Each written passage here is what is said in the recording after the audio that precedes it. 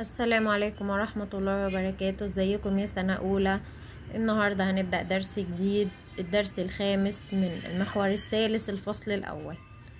نطلع مع بعض صفحة 14 التكنولوجيا وتصنيع القميص. طيب يعني إيه تكنولوجيا؟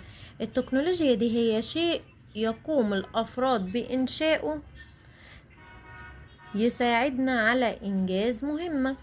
يعني حاجة إحنا بنصنعها وبنعملها ليه؟ علشان تخلينا نعمل شغلنا بسرعة وبسهولة وما تتعبناش. طيب تعالوا نشوف كده هي التكنولوجيا ساعدتنا في حياتنا في إيه. أول صورة معايا. تصنع القمصان من نبات القطن الذي لا الذي ينمو في الحقول ويجب جمع القطن من هذا النبات. هناك آلة تساعد على جمع القطن تسمى ماكينة جمع القطن. يبقى دي ماكينة جمع القطن. إحنا اخترعناها ليه؟ اخترعناها علشان تجمع لنا القطن ده كله كده من الحقول. طيب يا مس ما الإنسان ممكن يجمعه من الحقول. أيوه بس هو كتير قوي وهيتعب الإنسان وهيبقى محتاج ناس كتير قوي تجمعه. طيب ما إحنا ممكن نخترع حاجة تجمع لنا القطن ده بكل سهولة. طيب أول خطوة في عملية تصنيع القماش من القطن بنفصل القطن عن البذور باستخدام آلة حلج القطن. المكنة دي لما بتلملي القطن من الحقول بتلمه وهو فيه بذور وحاجات مش حلوة. طيب إحنا عايزين ننضف القطن ده علشان نصنع منه قماش. بنوديه في آلة اسمها آلة حلج القطن. آلة حلج القطن دي بتفصل البذور عن القطن وبتطلع لي القطن لونه أبيض وجميل ونظيف زي ما إحنا شايفين كده. وبعدين تبدأ الخطوة الثانية في عملية تصنيع القماش من القطن بغزل القطن إلى خيوط. يعني بعدين بعد ما بنضف القطن بعمله خيوط. بعد ما بعمله خيوط بنسج الخيوط دي مع بعضيها علشان إيه؟ عشان تطلع لي قماش. خلاص بعد ما صنعت القماش بوديه عند مكنة الخياطة علشان يصمم لي الشكل اللي أنا عايزه. وبكده إحنا عرفنا تصنيع القميص بيتم إزاي.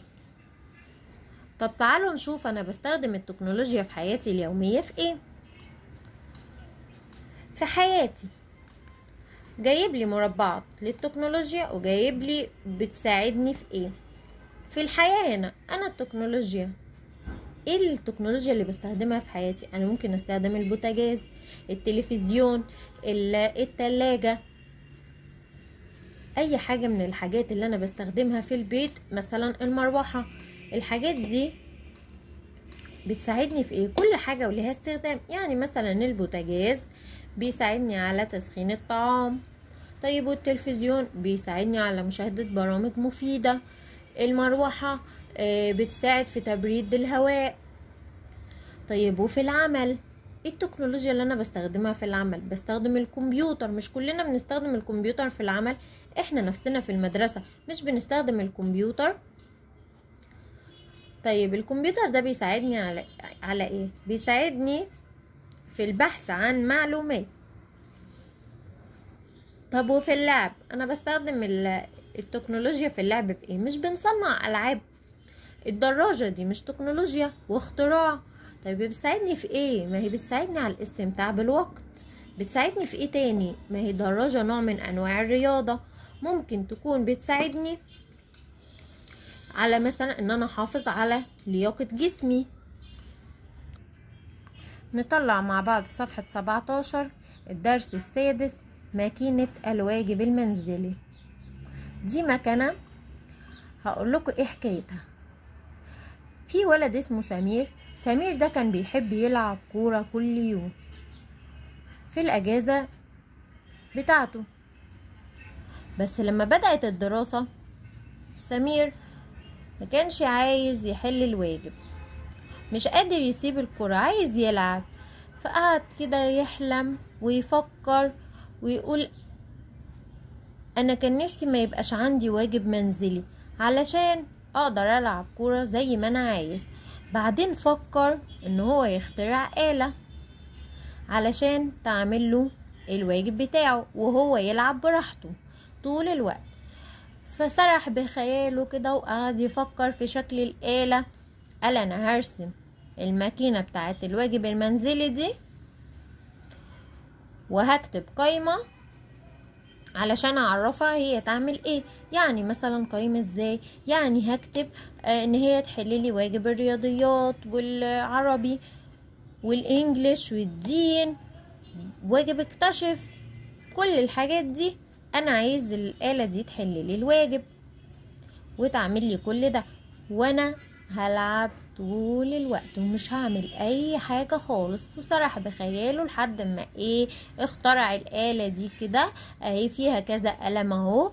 كل قلم بيحل إيه المادة اللي هو إيه اديهاله طيب تعالوا كده إحنا كمان نخترع زي سمير. نطلع صفحة 18 اختراعي.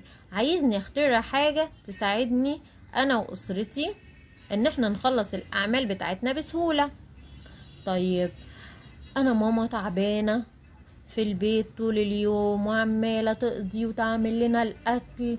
طب أنا عايزة أساعدها. يبقى أنا هخترع لها آلة بتساعدها في إيه؟ الطلبات المنزلية. طيب هي الآلة دي ولا التكنولوجيا اللي أنا هستخدمها دي هتساعد في إيه في الطلبات المنزلية؟ ممكن أخليها تنظف البيت ممكن أخليها تعمل لنا طعام. طيب تعالوا كده نرسم بقى شكلها في المربع ده. بعد ما رسمنا شكلها نكمل نطلع صفحة 19 يمكن لاختراعي أن يساعد في إيه؟ هيساعد في إيه؟ هيوصل مثلا للأماكن العالية. وينظفها اللي ماما مش بتطولها وبتتعب عبال ما بتعملها. ممكن يطبخ لي أصناف كتير من الطعام. ماما ما بتبقاش قادرة تقف تعمل لنا أكل كتير بتعمل لنا حاجة واحدة بس. ممكن الآلة دي تعمل حاجات كتير وتغسل بقى الأطباق والملابس والسجاجيد بتاعتنا وتغسل لنا كل حاجة. نقلب الصفحة مع بعض. ونطلع صفحة عشرين.